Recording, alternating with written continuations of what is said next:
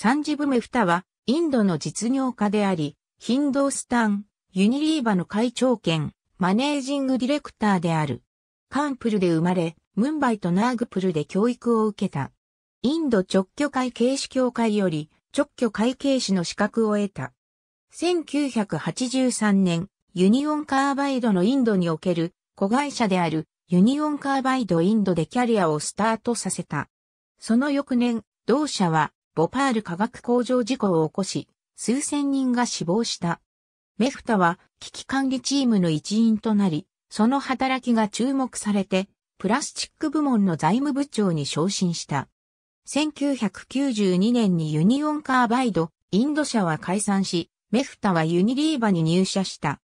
1999年に取締役としてユニリーババングラデシュに派遣された。2002年4月、ユニリーババングラデシュの会長兼 MD に昇進した。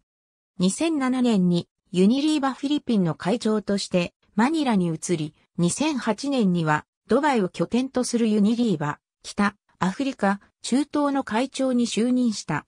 2013年10月にヒンドースタン、ユニリーバの CEO 兼 MD、2018年6月に会長兼 MD に就任した。また、ユニリーバの南アジアにおける事業を統括している。メフタは、インド商工会議所の FMCG 委員会と、インド工業連盟の多国籍企業に関する全国委員会の委員長を務めている。父の SP メフタはインド準備銀行の幹部である。HSBC の元コーポレートバンカーのモナと結婚し、双子の娘を設けた。ありがとうございます。